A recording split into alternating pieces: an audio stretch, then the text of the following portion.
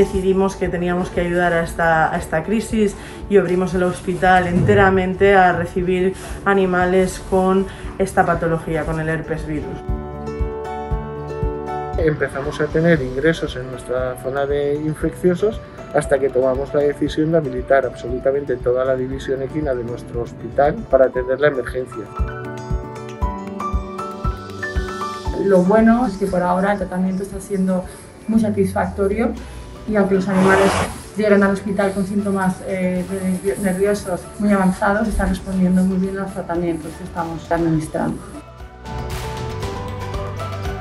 A día de hoy tenemos un equipo de seis veterinarios y dos veterinarios responsables, o sea, ocho veterinarios y un equipo de estudiantes que están colaborando con nosotros activamente, de forma que hemos generado un gran equipo de gente que se ha volcado eh, muy exhaustivamente en cuerpo y alma para tratar de ayudar a estos animales.